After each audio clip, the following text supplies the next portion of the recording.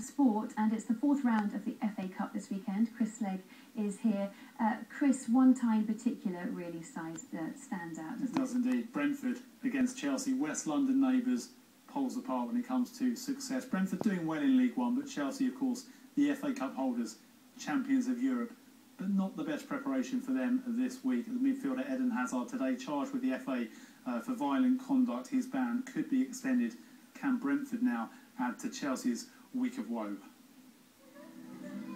This wasn't Brentford calling in the ball boy and ball girl reinforcements, but at Griffin Park today, plenty to do as the famous old ground prepares to stage one of the biggest games in its history.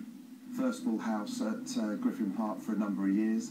Um, there's plenty of tired staff though. It's, it's taken a tremendous effort by uh, by many people to get to the sellout stage and a lot of patience on the part of the uh, the fans. Sometimes for three or four hours in a queue in, in freezing conditions. My ticket's in the post. It hasn't arrived yet. If it doesn't arrive, I've got to uh, return to the ground at nine o'clock on Sunday morning. fantastic. Uh, I think Chelsea will be out of their comfort zone. It could be a bit of a sting in the tail. On Sunday afternoon, Brentford's players will come down this tunnel alongside a Chelsea side, most of whom earn more in a week than they do in a year. But by the time they take to the Griffin Park pitch, this competition is a great leveller. In the FA Cup, any underdog can have its day.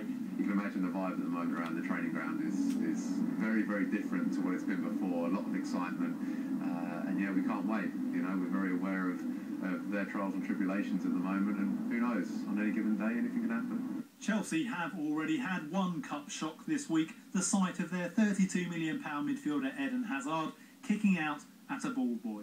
Already banned for three games, it could now get worse for him after the FA today charged him with violent conduct.